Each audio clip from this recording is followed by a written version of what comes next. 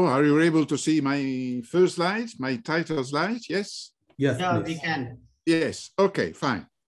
So uh, thank you again for your kind invitation. This is my disclosure uh, slide.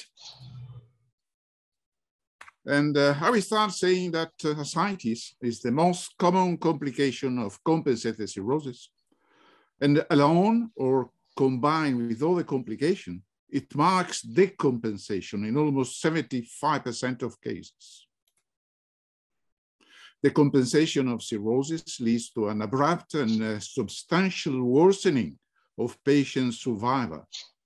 If we compare the survival curve of the compensated cirrhosis to that of liver transplantation, there is no doubt that ascites apparent should prompt a patient referral to a transplant center for assessment.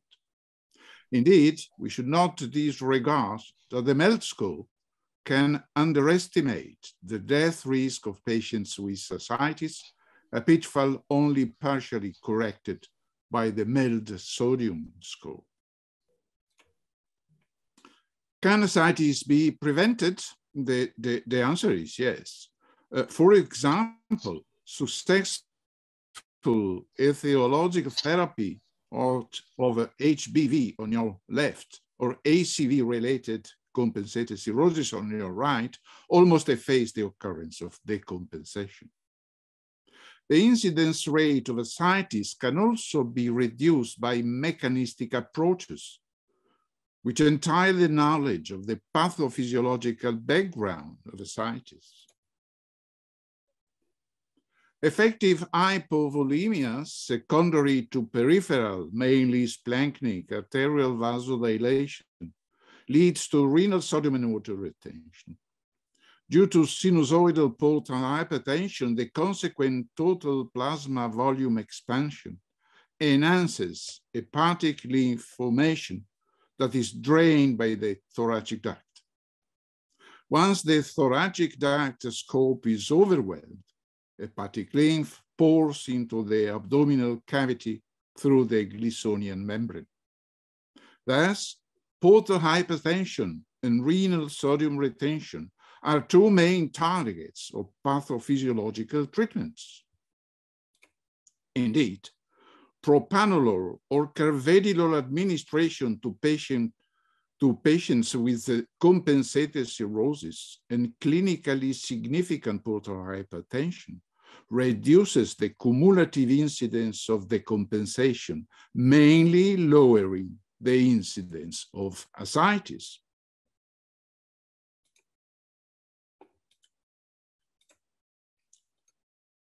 This study ended prematurely due to a low enrollment rate. However, with about one third of the planned sample size, a clear trend to a reduced incidence of ascites in patients receiving potassium canrenoate for 52 weeks emerged. I'm not claiming that we should give anti-mineralocorticoid drugs to our patient with compensated cirrhosis.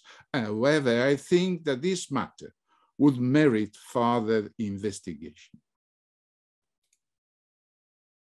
Coming to the management of ascites, I will start by saying that the fundamentals of ascites treatment have been established for more than a decade ago.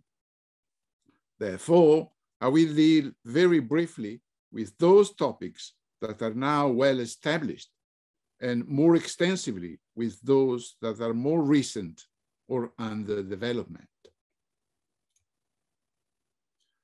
I would ideally stratify the natural history of cirrhosis into three stages.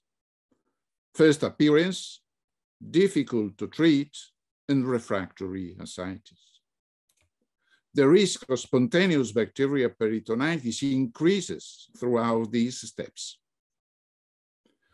The therapy of ascites at the first appearance aims at establishing a negative fluid balance accomplished by controlled sodium intake and diuretic administration. Many years ago, we showed that a mild reduction of dietary sodium does not improve the efficacy of a sequential diuretic treatment compared with a diet providing 120 millimoles of sodium per day, which is more or less the sodium content of a Mediterranean diet. It took several years before guidelines accepted this concept, but almost all of them now give this indication. Indeed, drastic reduction of sodium from the diet increase the risk of hyponatremia and renal failure. And more recently, it has also been shown that a strict adherence to a low sodium diet is associated with a poor calorie intake, which could enhance the malnutrition of patients with advanced cirrhosis.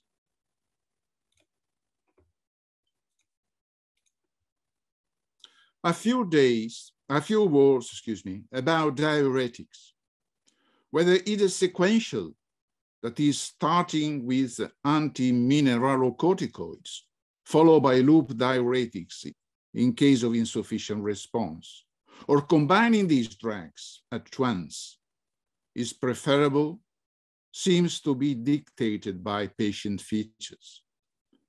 Sequential treatment can be preferred in those with recent onset ascites and well-preserved renal function, as it needs fewer adjustment of diuretic dosages in the follow-up. Combined treatment seems more appropriate in those with long-standing ascites and reduced glomerular filtration rate, as it ensures a more rapid resolution of ascites and lower incidence of side effects, mainly represented by hyperkalemia. In patients with more difficult to treat ascites, often associated with hyponatremia renal impairment, inducing a negative fluid balance still represent a relevant goal.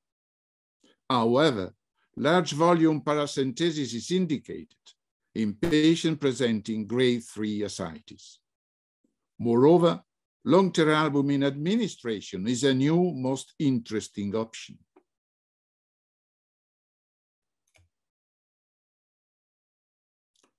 The superiority of albumin compared with artificial plasma expanders in preventing paracentesis-induced circulatory dysfunction when five or more liters of ascites are removed has long been established. A more recent meta-analysis confirmed the superiority of albumin compared with plasma expander and vasoconstriction not only in preventing paracentesis-induced circulatory dysfunction, but also its clinical manifestations, such as hyponatremia and mortality. Still, we have unresolved issue as far as the prevention of paracentesis-induced circulatory dysfunction is concerned. The amount of albumin to be used after low volume paracentesis, alternatives to albumin after low volume paracentesis, the efficacy of low dose albumin after large volume paracentesis. The ANSWER study is a non-profit, multi-center, randomized, pragmatic clinical trial that evaluated the effects on long-term administration of albumin to patients with cirrhosis and persistent non-complicated ascites. We enroll patients with cirrhosis and persisting non-complicated ascites requiring the administration of at least 200 milligrams of anti-mineralocorticoids and 25 milligrams of furosemide per day. After stratification, according to the need of paracentesis in the month preceding the study, and a serum sodium concentration, patients were randomized one-to-one to either standard medical treatment, which included albumin administration for well-established indications, or standard medical treatment plus 40 gram of albumin twice a week for the initial two weeks, and then 40 gram per week. The intention to treat population consisted of 218 patients in the albumin arm and 213 in the standard medical treatment arm. The follow-up lasted 18 months or liver transplantation, TIPS insertion, or to the severity of ascites refractoriness, requiring three or more paracentesis per month, which represents an indication to tips. Up to two-thirds of patients in the standard medical treatment arm needed at least one paracentesis during their follow-up. Such a percentage was significantly reduced by 38 to 38% in the albumin arm. The cumulative incidence rate of paracentesis with standard medical treatment was 3.5 per patient per year and dropped by 54% with albumin. In addition to easing the management of ascites, the incidence of refractory ascites was also significantly reduced.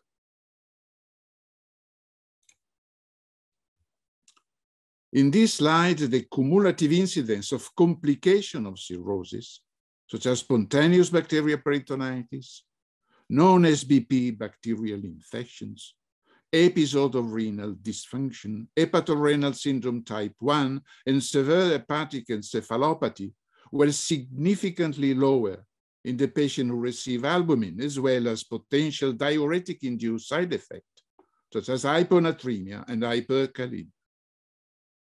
Gastrointestinal bleedings due to portal hypertension didn't significantly differ between the two arms of the study.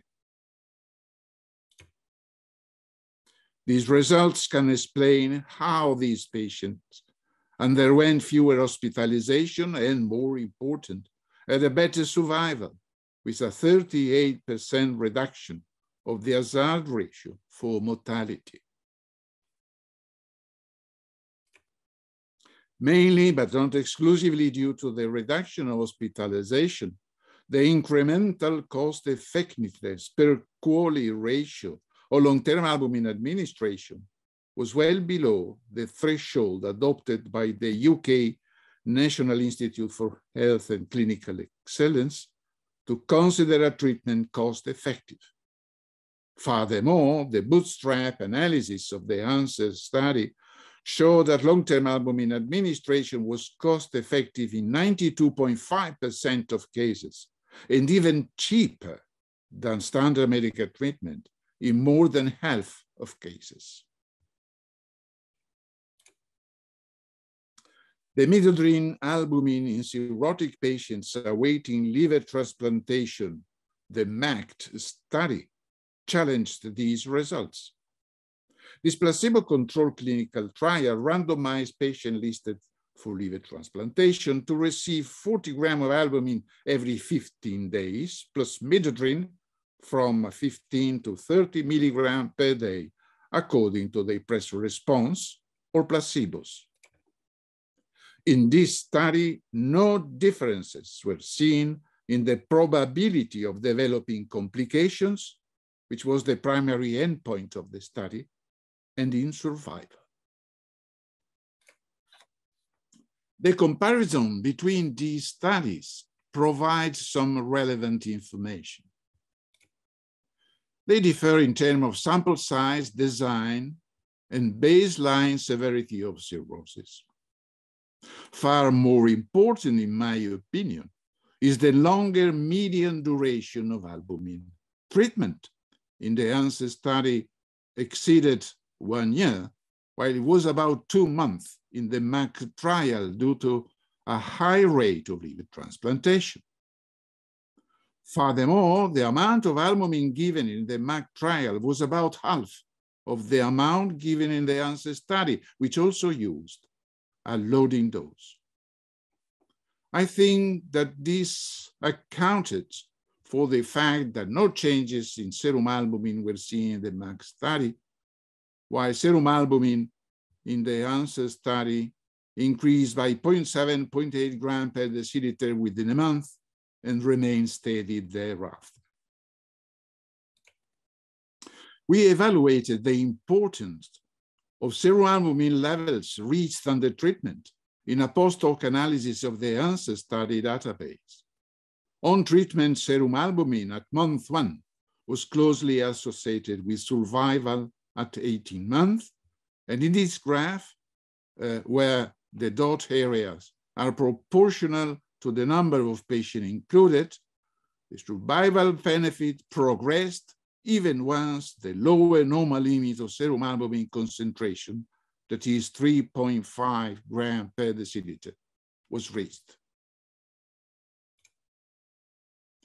Then we, we are using uh, long-term albumin in patients with grade two or three of uncomplicated ascites, not to treat the complication ascites in itself, but because grade two and three ascites identifies a group of patients, albumin administration acts as disease-modifying agent by improving survival, reducing complication and hospitalization, and so on. How long-term albumin administration can achieve these results could be explained in the light of the current knowledge of the pathophysiological background of the compensated cirrhosis. The systemic spread of pathogen-associated molecular patterns due to abnormal translocation from the gut and damage-associated molecular pattern released by diseased liver after recognition by specific receptors, activates immune cells to produce pro-inflammatory cytokines and chemokines, along with highly reactive oxygen and nitrogen species.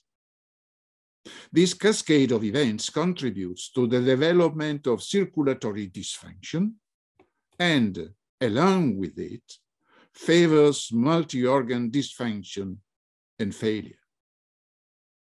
In this context, albumin administration, beside promoting plasma volume expansion, uh, due to the pleiotropic properties of albumin, other events occur, such as binding of offending molecules, modulation of immune responses, antioxidation, improved cardiac function, and restoration of endothelial integrity.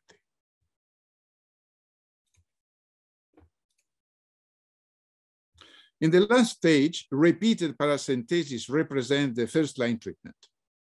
Let's discuss about transjugular intrahepatic portosystemic uh, shunting and other potential approaches.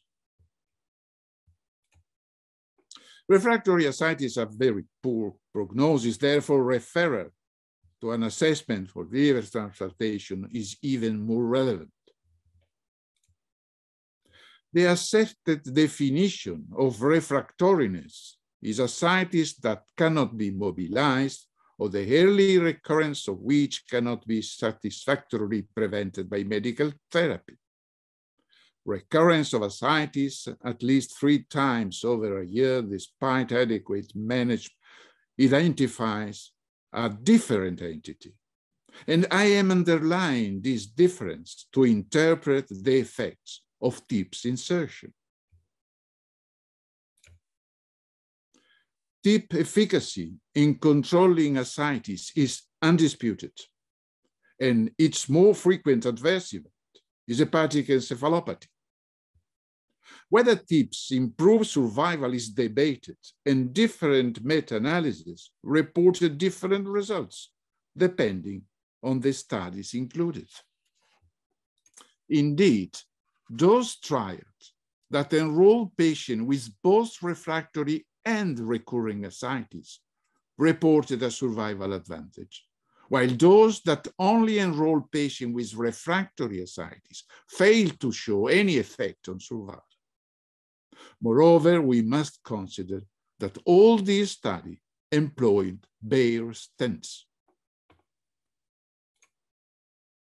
To the best of my knowledge, this is up to now the sole prospective randomized study that assessed the effects of PTFE-coated stents in patients with recurrent ascites, showing a clear survival advantage compared with repeated paracentesis.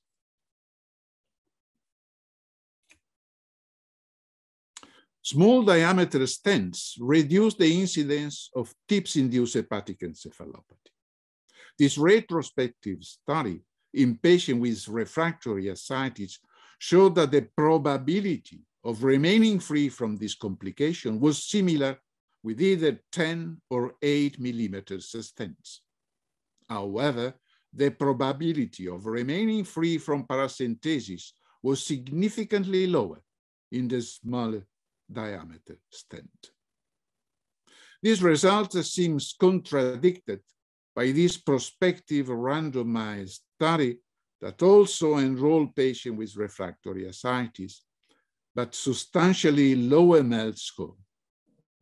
Indeed, the number of patients free from paracentesis did not differ between six and eight or 10 millimeters, while the smallest stent ensure a better protection from hepatic encephalopathy. This meta-analysis on individual data suggests that TIPS ensures a lower mortality than repeated paracentesis in patients with refractory or recurrent ascites for any MELD score threshold considered. Most centers don't candidate for TIPS patients with MELD score above 18, 20. In this respect, I would like to recall the North American practice-based recommendations for TIPS that indicates that an overall assessment rather than an absolute MELD cutoff value should guide patients' candidacy. And the same source indicates the following as the absolute contraindications. Severe congestive heart failure and valvular heart disease, moderate to severe pulmonary hypertension, uncontrolled systemic infection, refractory, and I would add frequently recurrent overt hepatic encephalopathy, unrelieved biliary obstruction, and lesion or tumors in the liver parenchyma precluding TIPS insertion. Due to these and other potential conditions, many patients with advanced cirrhosis cannot be candidate for TIPS. Therefore, alternatives are needed This prospective non-randomized clinical trial enrolled patients with cirrhosis and refractory ascites, receiving albumin and confirmed the co-result of the ANSWER study. Patients included in the active arm of the trial received 20 grams of albumin twice a week for a maximal duration of 24 months. Patients who receive albumin have a significantly lower mortality. Moreover, they underwent fewer rehospitalization due to complication of cirrhosis, hepatic encephalopathy, accumulation of ascites, bacterial infections, as well as a decline in the hepatorenal syndrome incidence, even though the difference was not statistically significant. The automated low flow pump system is an alternative approach. It consists of a subcutaneously implanted battery-powered pump that moves ascites from the peritoneal cavity to the urinary bladder. Pump function can be monitored and regulated by a computer.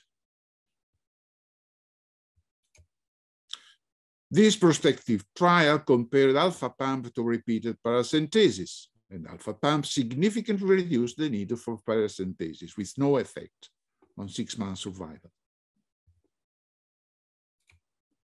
Adverse events, either cirrhosis or device-related, occur in a high number of patients. Namely, 45% of patients experience device-related adverse effects. A more recent study reported similar result. It also reported an improved patient quality of life. But once more, device-related adverse events occur in more than 40% of patients.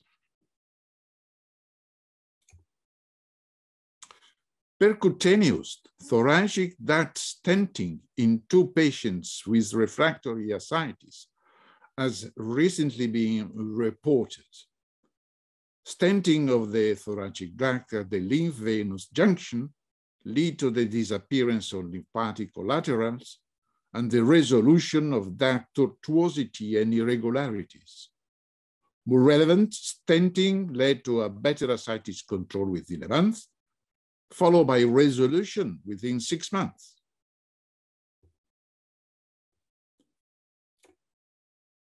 I think that dealing with the management of ascites, the issue of non-selective beta blocker use in patients with refractory ascites cannot be overlooked.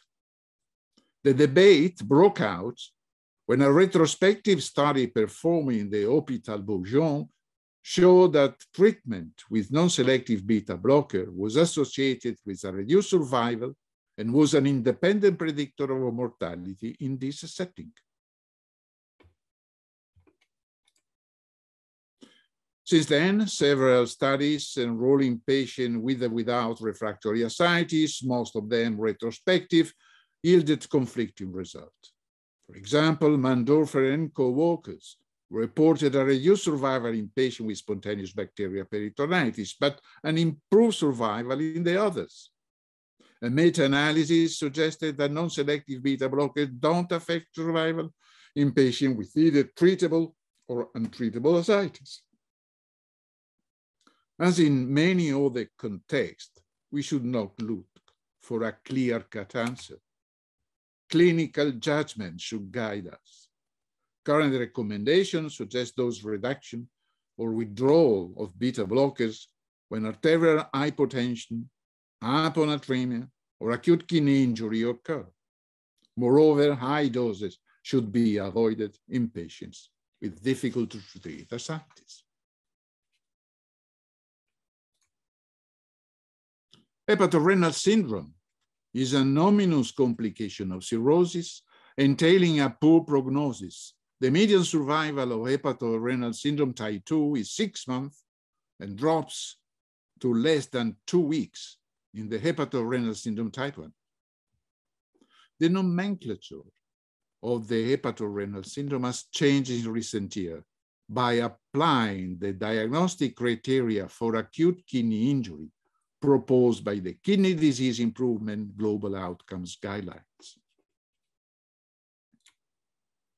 The current criteria defining acute kidney injury in cirrhosis refer to an abrupt reduction in kidney function defined as a serum creatinine increase of 0.3 milligram per deciliter or more in 48 hours, or 50% increase for more than a week. The extent of these abnormalities grades the severity of AKI in three stages. Peculiar to cirrhosis is the stratification of grade one in two substages, A and B, based on serum creatinine below or equal to or above 1.5 milligram per deciliter. The International Ascites Club has proposed this diagnostic algorithm to guide the differential diagnosis of acute kidney injury in cirrhosis. If the initial stage is one, monitoring and removal of potential risk factors are indicated. With resolution, close follow-up is warranted as these patients are prone to develop again renal dysfunction persistence will require re-evaluation. Progression, as well as an initial grade three, two or three, would require diuretic withdrawal and plasma volume expansion, possibly with albumin, one gram per kilogram of body weight for two days. Response to volume expansion identify pre-renal AKI, Lack of response should require differential diagnosis between hepatorenal syndrome and other form of acute kidney injury, especially acute tubular necrosis. The diagnostic criteria for hepatorenal syndrome AKI also require the absence of shock, no current or recent treatment with nephrotoxic drug, and the absence of parenchymal disease as indicated by proteinuria, microhematuria, abnormal urinary injury biomarkers if they are available, and an abnormal renal ultrasonography. The differential diagnosis between hepatorenal syndrome and acute tubular necrosis can be challenging, especially in the transition phase between the two types of acute kidney injury. Urine biomarkers of tubular injury can help, but do not entirely resolve our uncertainties. For example, there is a substantial overlap in urine NGAL between acute tubular necrosis and hepatorenal syndrome associated with bacterial infections.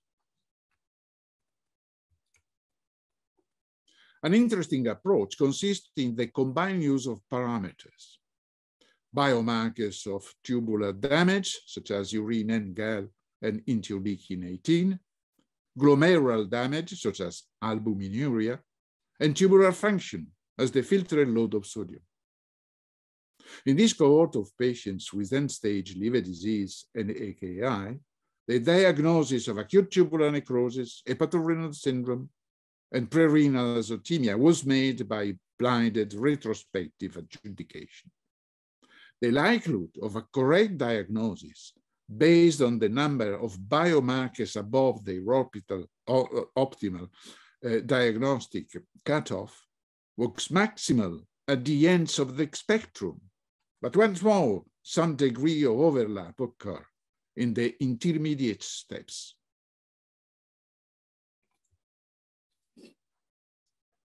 Our understanding of the pathophysiology of hepatorenal syndrome has also changed. The classical view is that this complication is due to effective hypovolemia, reduced renal perfusion, and activation of intrarenal vasoconstrictor systems. This concept is the background of the current medical treatment of hepatorenal syndrome. However, all the factors are into play.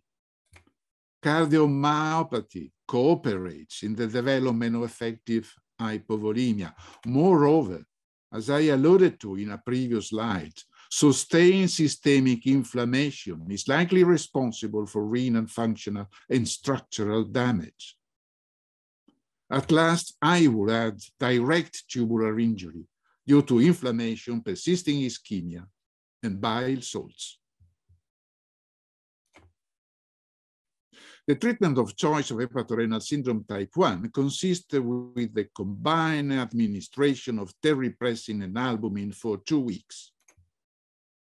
This treatment resolved the syndrome in 35 to 40% of patients and improve renal function in about 45% of cases. Meta-analysis has shown that, that there is a trend to improve survival in the short term. These data overall were confirmed by the most recent control trial comparing the effect of terlipressin plus albumin versus placebo plus albumin in hepatorenal syndrome type 1. Notably, albumin administration was recommended but not mandatory. An advantage in the reversal of hepatorenal syndrome was seen, considering TIPS placement or death occurring before the patient met the criteria for clinical success or failure as competing events.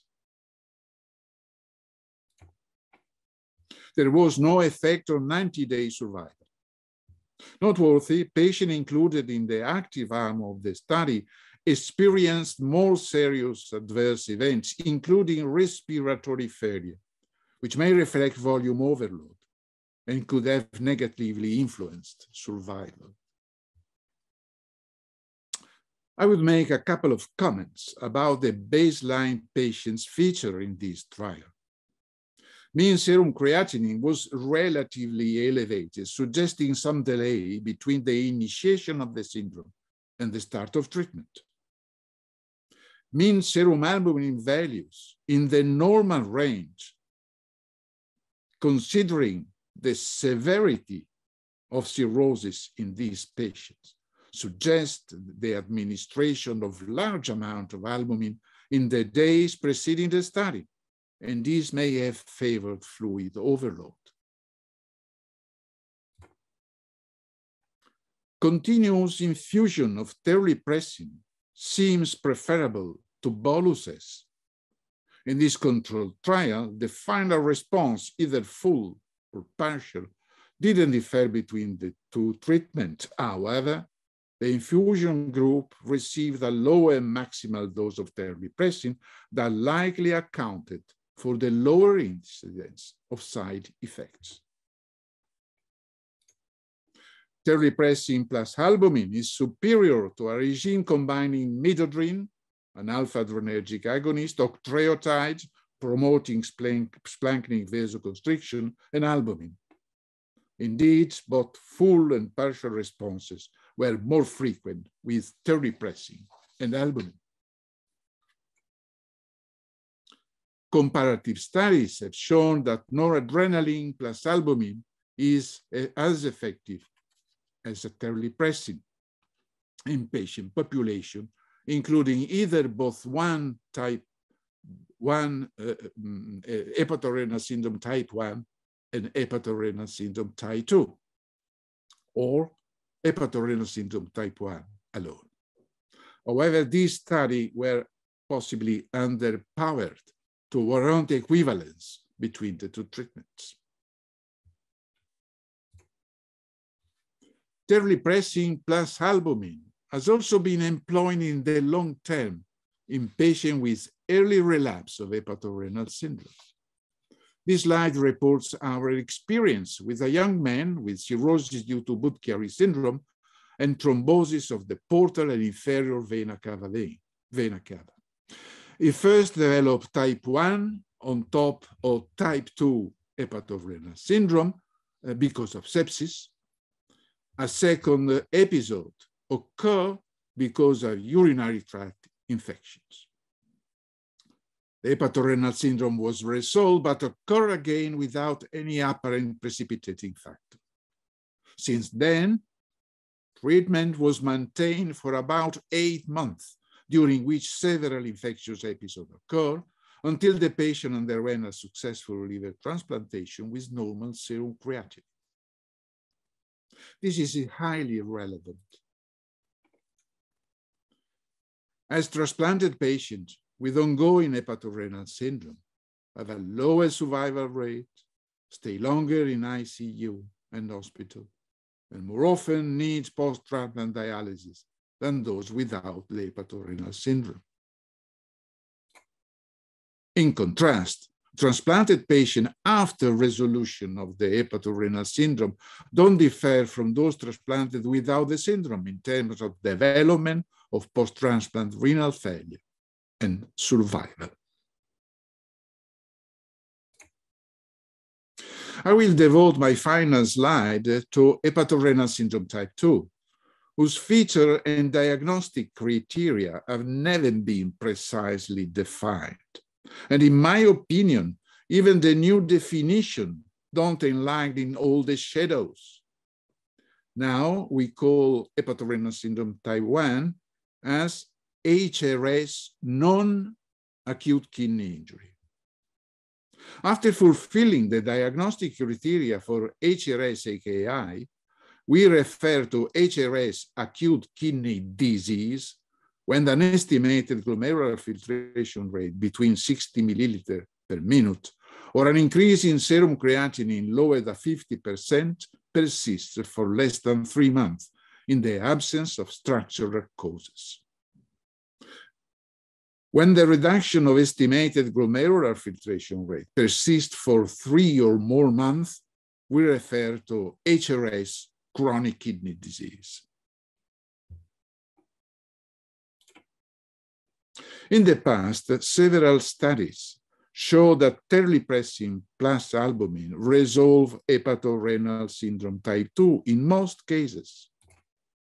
However, they also showed that relapse was almost universal. And therefore, uh, it seemed appropriate to limit vasoconstriction to patients with hepatorenal syndrome type 2, candidates for liver transplantation, while paracentesis was indicated for the others. This is the first study that enrolled patients with hepatorenal syndrome type 2 according to the new definition of HRS-CKD. After TIPS placement, renal function assessed by serum creatinine and estimated glomerular filtration rate underwent an early improvement which persisted during the follow-up up to one year. Interestingly, this beneficial effect was seen in every chronic kidney disease stage and was associated with a substantial improvement in the control of ascites. In conclusion, I think that uh, I could claim that ascites and hepatorenal syndrome are among the most severe complications of cirrhosis, challenging physicians who care for patients with chronic liver disease. Their management is based on well-established treatments, while others are currently under development. The improved knowledge of the pathophysiological underlying these complications opens novel perspective for patient management. This can be pursued through mechanistic approaches against newly identified targets, and both remodulating current treatments and employing new strategies will help in improving patient care. Many thanks for your attention.